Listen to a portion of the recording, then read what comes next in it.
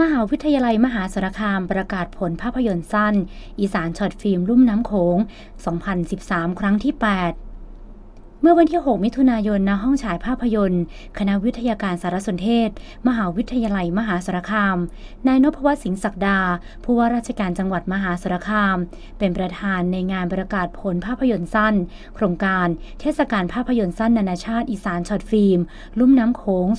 2013 ครั้งที่ 8 ซึ่งจัดโดยหลักสูตรนิเทศศาสตร์ คณะวิทยาการสารสนเทศ มหาวิทยาลัยมหาสารคาม โดยมีอาจารย์ปรีชาสาคร เป็นผู้รับผิดชอบโครงการ เทศกาลภาพยนตร์สั้น ซึ่งจัดขึ้นอย่างต่อเนื่องเป็นครั้งที่ 8 โดยในครั้งนี้ได้รับความร่วมมือจากจังหวัดมหาสารคาม มหาวิทยาลัยมหาสารคาม สมาคมผู้กำกับภาพยนตร์ไทย กระทรวงวัฒนธรรม สถานีโทรทัศน์ไทย PBS กลุ่มอีสานช็อตฟิล์ม และหอภาพยนตร์อีสาน มหาวิทยาลัยขอนแก่น โดยมีวัตถุประสงค์เพื่อใช้ภาพยนตร์สั้นเป็นสื่อกลาง ในการเผยแพร่ประชาสัมพันธ์ภาพลักษณ์ที่ดีงาม โดยเฉพาะอย่างยิ่ง ศิลปะวัฒนธรรมท้องถิ่นอีสาน และภูมิภาคลุ่มน้ำโขงให้เป็นที่ประจักษ์ และยอมรับในระดับนานาชาติ และถือเป็นอีกทางเลือกหนึ่งที่เปิดโอกาสให้ได้แสดงความคิดเห็นเชิงสร้างสรรค์ และเป็นสื่อที่มีอิสระในการนำเสนอเนื้อหา และเป็นทางออกให้แก่ผู้ที่สนใจภาพยนตร์ ได้ทดลองสร้างงานตามความสนใจ และความถนัดของตนเองผ่านภาพยนตร์สั้นและสารคดี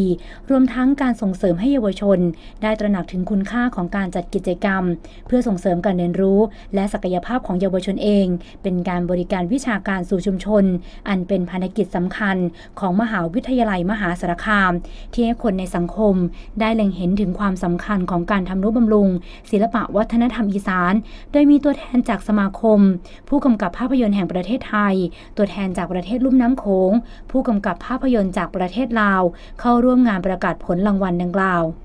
ผลการประกวดภาพยนตร์สั้นโครงการเทศกาลภาพยนตร์สั้นนานาชาติ อีสานช็อตฟิล์ม ลุ่มน้ำโขง 2013 ครั้งที่ 8 มีดังนี้ประเภทนักเรียน รางวัลรองชนะเลิศอันดับที่ 3 ได้รับเงินรางวัล 50,000 บาท พร้อมถ้วยเกียรติยศ ได้แก่เรื่อง หอยอัน ผลงานของผู้กำกับ คุณอภิชาติบุตรวิชา จากโรงเรียนเจริญศิลปศึกษาจังหวัดสกลนคร ภูมิใจมาก ๆ เลยนะคะ ก่อนอื่นก็ต้องขอขอบพระคุณนะคะอีสาน Short Film ค่ะที่อ่าทำโครงการจัดโครงการ ประเภทนิสิตนักศึกษาประชาชนทั่วไป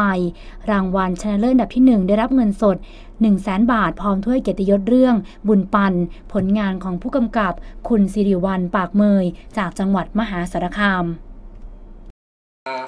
เนื้อสิ่งเงินใดของการทำหนังอะฮะก็คือการได้เรียนรู้ครับ แล้วก็การที่เราไม่หยุดทำมัน แล้วก็เราหวังว่าจะได้เห็นหนังดีๆ ขึ้นมาอีกในเมืองไทย